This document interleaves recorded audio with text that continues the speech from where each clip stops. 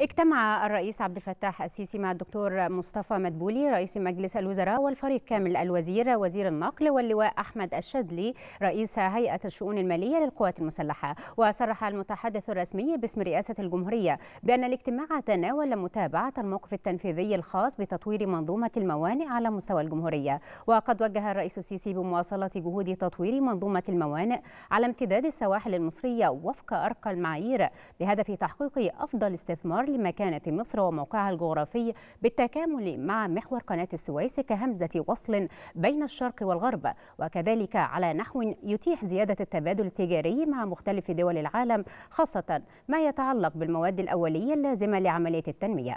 وخلال الاجتماع تم عرض الجهود القائمة لتطوير الموانئ المختلفة خاصة ميناء الأسكندرية بما يضمنه أو يضمه من قطاعات مختلفة ومناطق لوجستية متعددة الأغراض والأرصفة البحرية ومستوى مستودعات التخزين الحديثة وكذا أعمال ربطه بالطرق والمحاور الرئيسية وصولا إلى الطريق الدولي الساحلي.